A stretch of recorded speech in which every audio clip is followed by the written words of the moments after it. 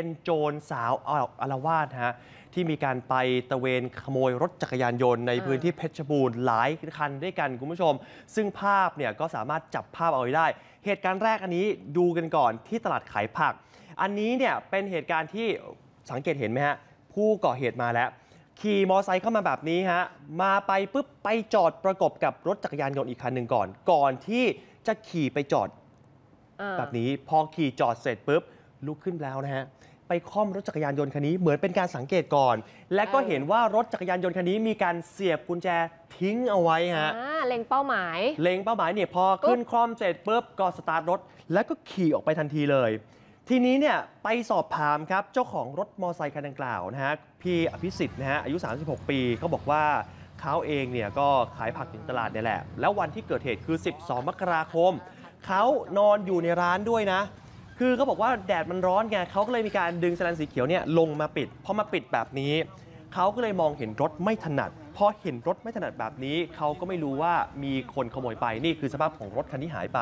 คือสภาพยังใหม่เอี่ยมเลยอืมหลายคนบอกว่าอ้าวพี่ทำไมพี่ถึงเสียบกุญแจค้างไว้แบบนี้ล่ะเขาบอกว่าปกติแล้วเนี่ยก็จะมีคนในตลาดเนี่ยมายืมรถ ก็เพื่อความสะดวกนะฮะในการที่จะให้ให้ยืมกันไปอะเดี๋ยวลองฟังเสียงพี่เขาหน่อยครับ จอดอยู่หน้าร้านเนาะตอนประมาณสักแปดเก้าโมงผมก็ง่วงนอนเพราะผมทำงานตั้งแต่ตีสามแล้วนะพี่นะผมตื่นมาอีกทีก็ประมาณเที่ยงกว่าๆแล้วตื่นมาเราก็จะหารถก่อนเราก็ไปหาถามคนที่อยู่ข้างๆเขาบอกว่าอ่าไม่นะเขาไม่มีใครขี่ไม่มีใครยืมไปอ่าโอ้มีผู้หญิงคนหนึงขี่รถเขาหน้าคลิกมามาเทียบข้างแล้วมาดูลาดราวก่อนแป๊บนึงอ่าอ่าค่อยคล่อมรถออกไปนี่พี่พิจิตรก็เลยบอกว่างั้นเดี๋ยวต้องไปแจ้งความกับตำรวจครับเพื่อตรวจสอบนะครับก็ผลสรุปแล้ว มีการไปตรวจสอบรถจักรยานยนต์คันที่โจรสาวขี่มานี่แหละ ค่ะก็พบว่าเขาคันนั้นก็จอดเอาไว้เนอะ ถูกขโมยมาเหมือนกัน โอ้โห ถูกขโมยมาเพื่อมาขโมยอีกคันหนึ่งค่ะอะ ทีนี้ไปดูอีกหนึ่งเหตุการณ์ที่เกิดขึ้นใกล้เคียงกับจุดเกิดเหตุแรกห่างออกไปเพียงแค่ประมาณ 500 เมตรเท่านั้น อันนี้เป็นเหตุการณ์หน้าร้านหมูกระทะฮะ นี่ ผู้ก่อเหตุเหมือนยืนด้อมๆมองๆก่อน รอดูลาดเราก่อนว่ามีใครอยู่บริเวณนี้ไหมมีใครอยู่หรือเปล่า พอดูแน่ชัดแล้วว่าไม่มีใครอยู่ฮะ ก็เดินขึ้นไปนะฮะเพื่อไปคล่อมรถจักรยานยนต์คันนี้ แล้วก็ขี่หายออกไปเลยอืมคือเหตุการณ์นี้เกิดขึ้น 28 ธันวาคม อันนี้คือเกิดขึ้นก่อนที่รถของพี่อภิสิทธิ์จะหายไปนะฮะค่ะเขาบอกว่า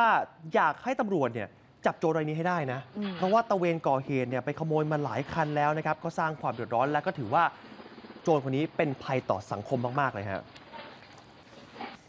ก็ฝากฝากให้ติดตามให้ถึงที่สุดอะค่ะครับรถเนี่ยติดตามดูว่าแหล่งซื้อรถลักของโจรเนี่ยไปอยู่ตรงไหน อืมไม่ได้คืนแต่ขอเอาผู้หญิงคนนี้มาแล้วรู้แหล่งคือจะไม่ได้ไปเหตุกับคนอื่นอีกอืมภัยสังคมเดือดร้อนกันไปทั่วปล่อยตำรวจดำเนินการให้ถึงที่สุดอะค่ะ ครับอย่าอย่าเอาไว้อืม เพราะว่า